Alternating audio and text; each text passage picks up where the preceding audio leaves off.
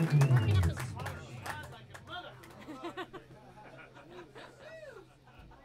the way, any of you um, wondering what this device behind me is that keeps lighting up in the corner as we play, yes, is technically the, the term is it's a called a condyna level, and it was designed for conductors of orchestras to tell who was playing too loud.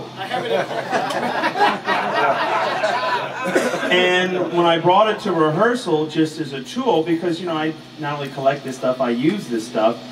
The entire band voted to put it right behind my guitar amplifier as a subtle hint, maybe that I should turn down on occasion. when you don't play.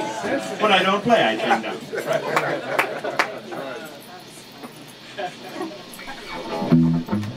How